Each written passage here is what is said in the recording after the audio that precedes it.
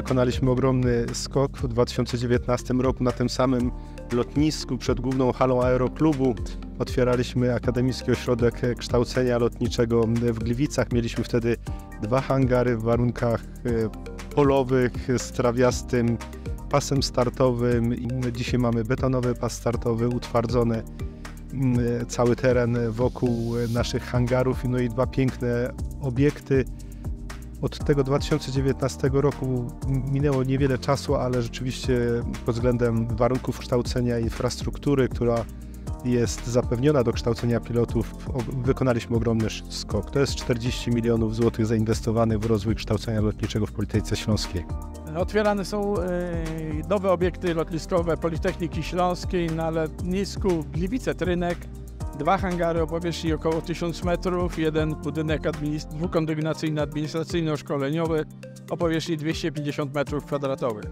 Te obiekty pozwalają nam na całoroczne szkolenie zarówno mechaników, jak i pilotów, jak i realizacji badań przy zastosowaniu systemów, urządzeń dostępnych na uczelni zarówno w odniesieniu do obszarów związanych lot z lotnictwem, jak i innych, które wymagają środowiska istniejącego tutaj na lotnisku. Dzisiaj e, mamy taki e, dzień, który był naszym marzeniem. E, marzyliśmy, aby otworzyć centrum, nowoczesne centrum w dobrym miejscu przy Politechnice, aby móc nadążyć za potrzebami świata, nadążyć za potrzebami tych największych tego świata. Linie lotnicze do nich należą.